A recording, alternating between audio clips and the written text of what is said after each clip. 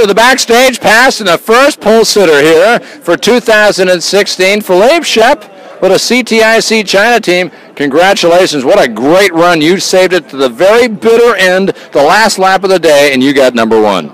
Yes, it's um, a great day for me, for my team. He works very hard. We have a lot of problems yesterday, and uh, now it's uh, my uh, engine work well. The first lap is not good. Uh, I do uh, push uh, everywhere, and it's a pole position. I'm very happy.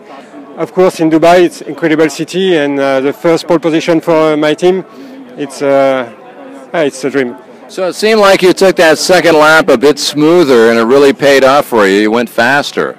Uh, I don't know. Uh, I I don't uh, see the wave. I, I push everywhere. The, my boat fly and very very fast. I think it's very nice lap, and the time is good.